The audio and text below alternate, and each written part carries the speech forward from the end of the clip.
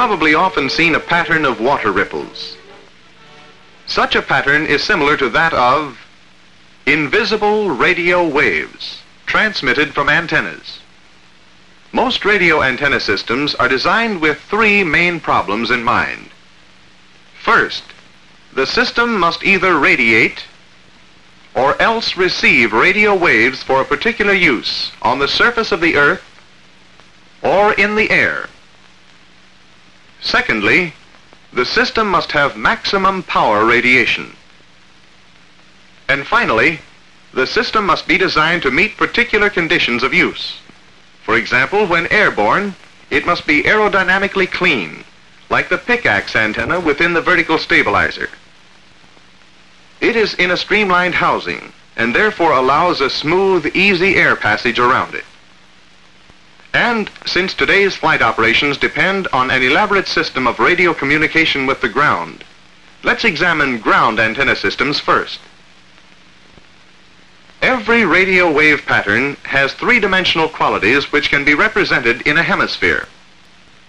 Here is the vertical plane, while this is the horizontal plane. Non-directional radiation can be symbolized by the rays from a light bulb. On the other hand, these rays can be concentrated and directed, as in a flashlight, for directional beam patterns. The kind of pattern which is needed for a particular communications job determines the type of antenna to be used. Let's assume clear reception is needed between two specific locations. The problem may be solved by using a collinear array antenna. Generally, this antenna is stationary. Physically, it can be quite small when very high frequency channels are planned. The collinear array has two or more elements on a common axis. These elements are a half wave in length. They receive electrical signals of equal strength fed in phase. Maximum energy radiates from the center of the elements, with the strength gradually dropping to zero at the element tips. The same transmission takes place on all sides of all elements. Thus, the transmitted radio wave pattern resembles, horizontally, two paddles projected from both sides of the array. Vertically, however, the pattern has the shape of a donut. The broad pattern is produced by a small number of elements. The collinear array can be made even more directional by adding more elements. These added elements sharpen the wave pattern. The result can be compared to whittling down the width of a paddle. When, in addition to horizontal control, vertical directivity is necessary, another antenna, the broadside array, can be used. Like the collinear array, the broadside array is generally stationary. The array is made up of many half-wave elements. These elements are formed into several levels, much like the rungs of a ladder. Let's consider only two levels. When energy is fed in phase to the elements of the lower level, the result is, of course, a collinear pattern. And now, let's energize the upper level of elements. It is these waves which cancel some of the radiation from the first level of elements. The half wavelength spacing between element levels makes possible this cancellation. As you see, the effect of condensing the wave pattern by using several levels of elements serves to increase the energy in the desired directions and gives greater gain to the beam. It's like focusing a flashlight. Adjust the lens and the beam is concentrated. Returning to our antenna patterns, there are several ways of obtaining sharp control both horizontally and vertically. The end fire array antenna is one of them. Physically, the end fire array resembles a broadside array laid on its side. There are several rows of elements, one behind the other, but operationally there is no resemblance. Each row of half-wave elements is energized out of phase with the next row. With such energizing, the wave pattern is compressed and channelized. maximum wave radiation is sent in two directions. But should your problem be to transmit energy in just one direction, an answer is the parasitic array antenna. In this array, the elements are aligned like those in the end-fire array. When two elements are used, the only element connected directly to the transmitter is called the driven element, which is a half wave in length. The second element is called a reflector and is longer than the first. Let's symbolize the driven element with a fluorescent tube and the reflector as a mirror-like surface. Without the reflector, light is radiated in many directions. But when the reflector is used, the radiation is reflected back and added to the radiation already moving in the desired direction. Thus, the final result is a greater amount of radiation in one direction and almost none in the other. Generally, with the driven and reflector elements, a third element, called the director, is used. There may be one or more. Its function can be compared to a lens, which concentrates and directs light. Because of its length and distance from the driven element, the director element concentrates the energy it receives. Actually, this is the operating shape of the wave pattern. Since the parasitic array is generally small and compact, it can be made to rotate, quickly pointed in any direction. Its useful distances, however, are limited. But when such wave patterns are to extend over transoceanic distances, then a different type of antenna is usually employed. This type consists of two or more half-wave elements which are connected end to end. It is called a long wire antenna. The elements are energized out of phase. Such out of phase energizing produces a pattern of about this shape. Considering one of its planes, such as the horizontal, reveals that it has four lobes at an angle of about 45 degrees with the wire. As more half-wavelength elements are added, minor lobes appear, and the angle between the major lobes and the wire decreases. The longer the wire, the smaller the angle.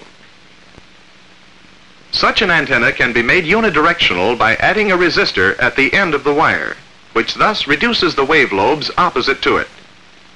The resistor is grounded.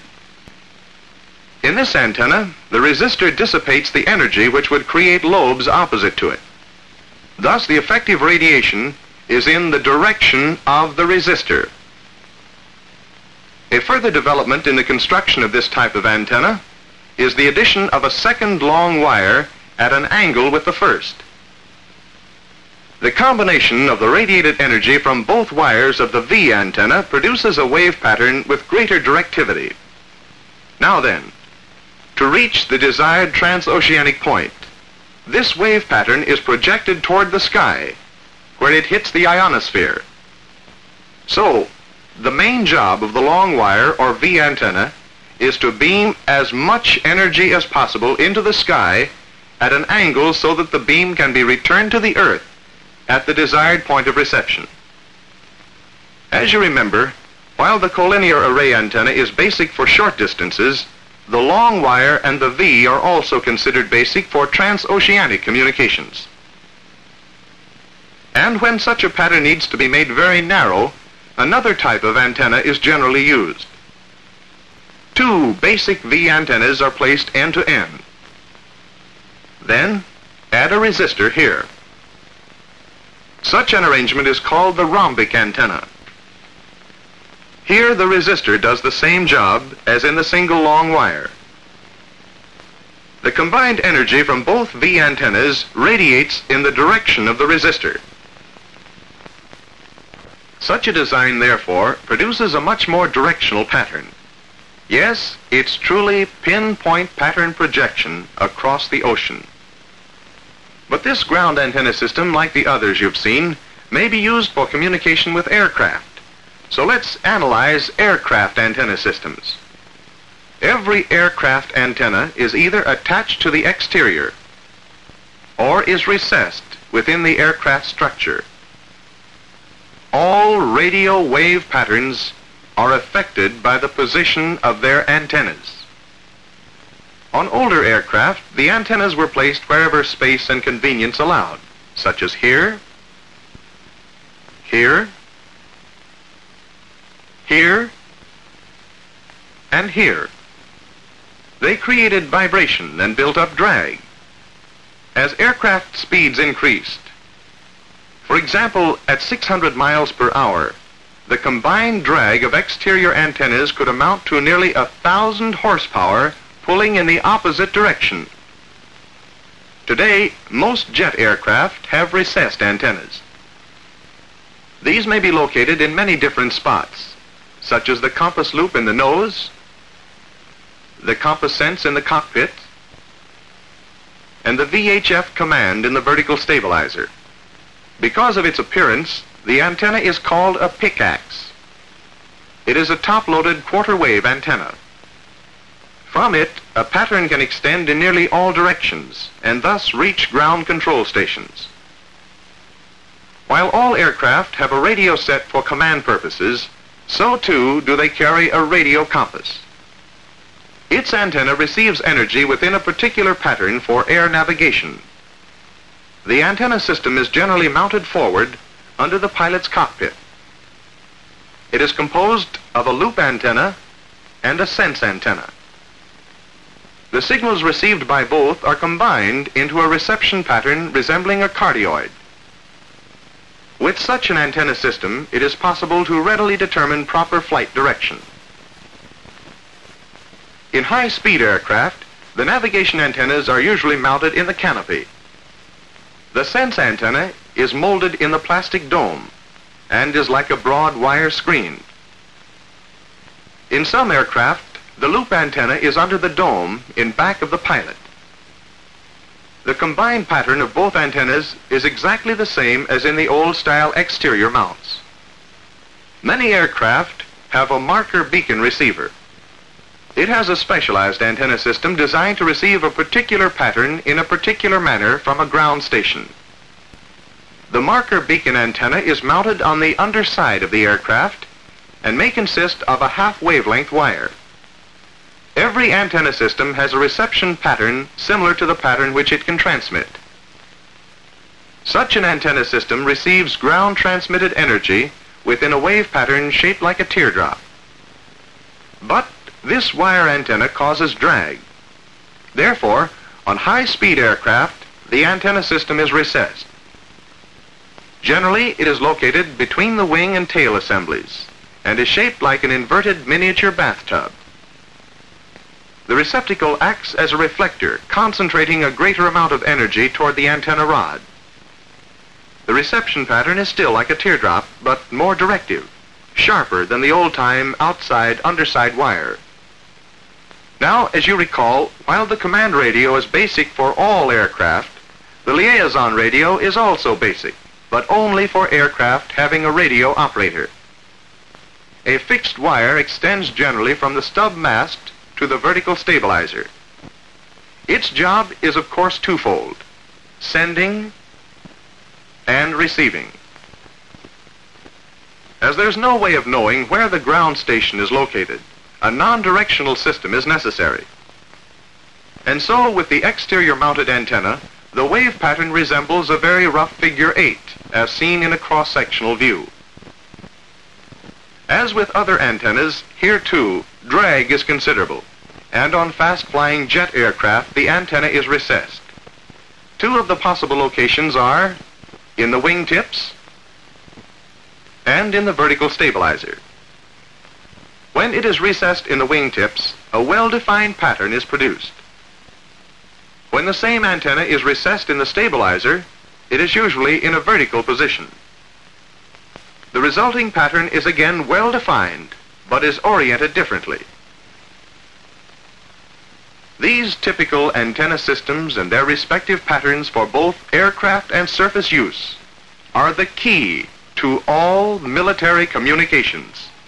The speed and accuracy of these communications around the world depend on skilled communications personnel.